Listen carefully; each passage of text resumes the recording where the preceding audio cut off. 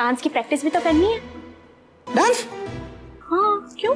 सामिया बाजी की शादी में डांस नहीं करोगे? वहाँ क्या सोचेंगे कि उनका भतीजा शादी से जरा भी खुश नहीं है?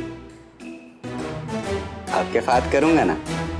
ओह यस ऐसा डांस सिखाऊँगी ना तुम्हें।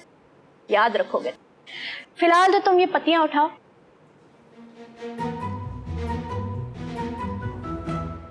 हाँ जी अली। चलो मीठा।